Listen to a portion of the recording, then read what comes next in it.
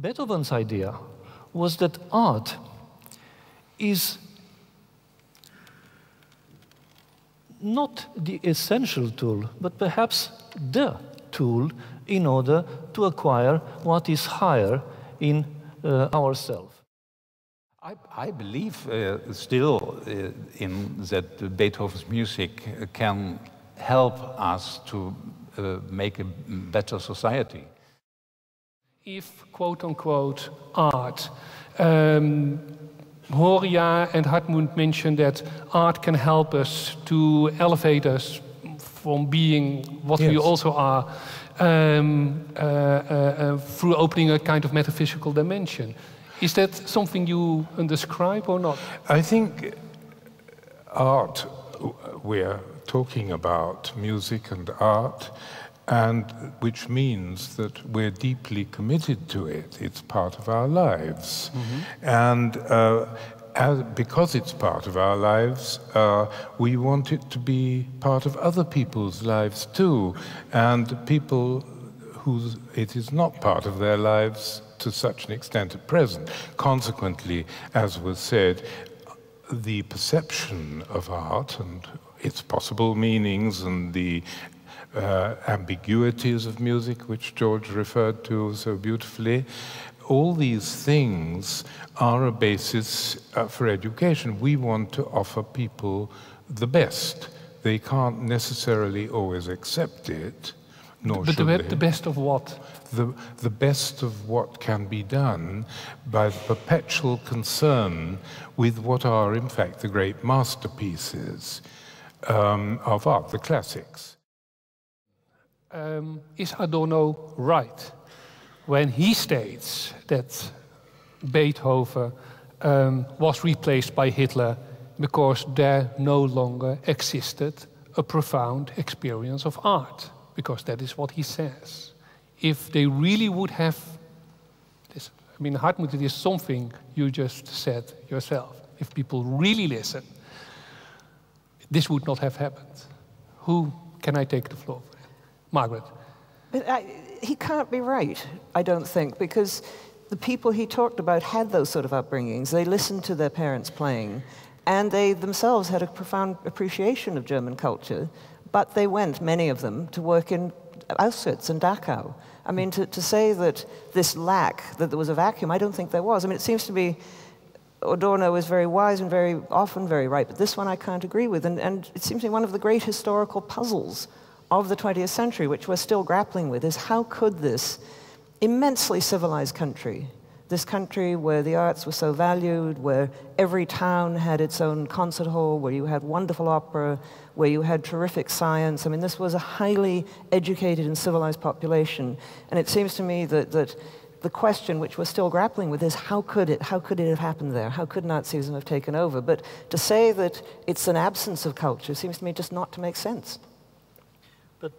I would argue that perhaps in his uh, example he's wrong, but in a principle he's right, because uh, you, you, have this phrase of him, the lack of experience of this humanistic spirit. Mm. He instantiated it with this tradition of playing at home music, which is an excellent German tradition now extinct. Uh, but it might be that his example is wrong, but could you deny, Margaret, that this lack of experience of the humanistic spirit is at the very root of the brutality of the Nazi regime. Germany was esteemed to be the most cultivated country in Europe. And uh, the, the, the, greatest barbarity came out of uh, that. Why? Because something was missing. And Adorno put it is this experience of the humanistic spirit. Not only to be cultivated in order to have knowledge or to be knowledgeable or to have information, but to have something in, in, in, in addition, which was the soul, the soul of it. They sim simply substitute one authority by another. But the spirit of obedience doesn't change. First, we look to a genius, Beethoven, for leadership, as you seem to do, Rob. and uh, then all of a sudden we say, no, uh, uh, now we have better than that. We have Hitler, Wilder, whoever. And then after a bad experience, we come back to Beethoven. What Günter Grass is saying, this is the typical attitude of the lower middle class. They should decide for themselves and not look up to some authority, to some genius, to some titan artist, to some high art or ever, to tell them what to do, but they should take responsibility for themselves and don't hang anybody's picture on the wall and look up to it.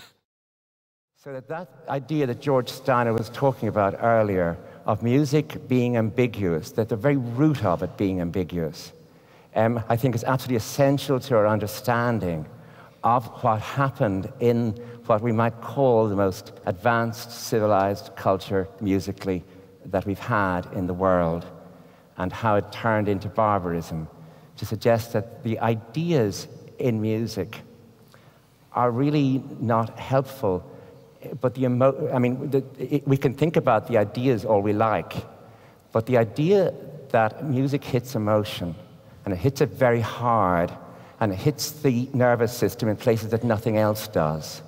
And it creates longings that themselves are ambiguous and can reach in several ways. One, towards good, towards the highest goal of mankind, towards being in the world in the most proper and idealistic way. But it can also reach towards ideas of land, of belonging, of your group, of a place that was once yours, a place that must be yours again, the notes rising, and you suddenly feel actually, where's my knife? Where's my bomb? Where's my gun? And where someone beside you is feeling, where's my love? Where's my love? Where's my love? And that the audience, two people, can feel emotion with the same notes being played, and the emotion will lead them in two completely separate directions. And we have to take that as basic and as, as assured and as understood. And to think that somehow or other, if we only, if the person beside us who's thinking about Bavaria or Ireland or Afghanistan just isn't listening right, if only they could listen better, like I listen, then the world would be a better place. Or if the music could be played properly for them. No, it seems to me basic in the ideas of emotion and especially in the ideas of emotion surrounding nationalism, that um, music can hit that emotion that gives rise to nationalism um, in a way that very little else can, in a way that, in, in a way, speeches can't or legislation can't. And the, the song, the ballad, Beethoven's you know, work with Irish, Irish music, Beethoven's higher music, all of that can hit the person beside you in a way which can make them intolerant intolerable and violent and, and can make you the very best you can be. It's in the music, it's, it's basic, it's essential.